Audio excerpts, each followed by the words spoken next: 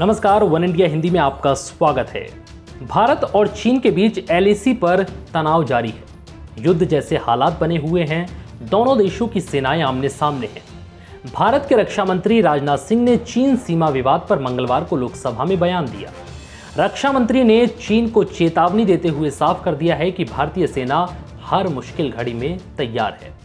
राजनाथ सिंह के इस बयान से चीन बौखला गया है। चीन के सरकारी अखबार ग्लोबल टाइम्स का कहना है कि भारत के रक्षा मंत्री का बयान उकसाने वाला है और इससे सीमा पर सर्दियों में तनाव बहुत बढ़ सकता है। चीनी अखबार ने एक बार फिर से एलईसी पर तनाव के लिए भारत पर ही दोष मड़ा है।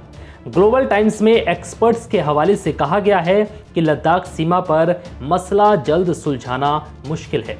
कहा गया है कि इस तरह का बयान देकर भारत के रक्षा मंत्री अपने लोगों को ये भरोसा दिलाना चाहते हैं कि उनकी सेना और सरकार तैयार है।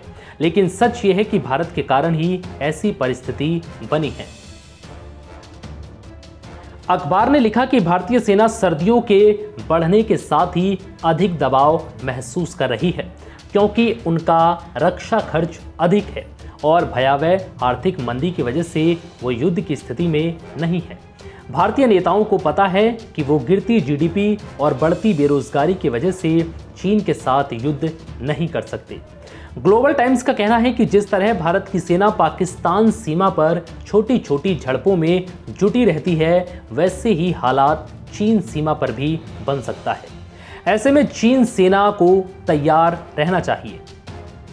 अखबार में कहा गया है कि भारत के रक्षा मंत्री राजनाथ सिंह ने सीमा पर तनाव की ज़िम्मेदारी चीन के सिर मर दी है। ग्लोबल टाइम्स ने लिखा है कि भारत को लगता है कि अगर उसके सैनिक लंबे वक्त तक चीनी सीमा पर टिके रहेंगे तो ये युद्ध शांति की ओर बढ़ सकता है। यही कारण है कि भारत इस तरह की बातें कर रहा है। बता दें कि ग्लोबल टाइम्स की ओर से बार बार उकसाने की कोशिश की जा रही है और वो माहौल को बदलने में लगा है। गौरतलब है कि पिछले छह महीने से एलईसी पर तनाव बना हुआ है। दोनों देशों के बीच कई स्तर की बातचीत हो चुकी है, लेकिन फ़िलहाल इस मसले का कोई हल निकलता दिखाई नहीं दे रहा। इसी को देखते हुए भारत ने सीमा पर सर्दियों के लिए तैयारी करना भी शुरू कर दिया है। सेना की ओर से लगातार सामान इकट्ठा किया जा रहा है, साथ ही जवानों के लिए सर्दी के कपड़े, टेंट की व्यवस्था की जा रही है। फ़िलहाल इस वीडियो में इतना ही। ये वीडियो आपको कैसा लगा, हमें कमेंट करके ज़रूर बताएँ। साथ ही वीडियो को लाइक करें, शेयर करें और वन इंडिया हिंदी को सब्सक्राइब करना बिल्कुल ना भूलें। नमस्कार।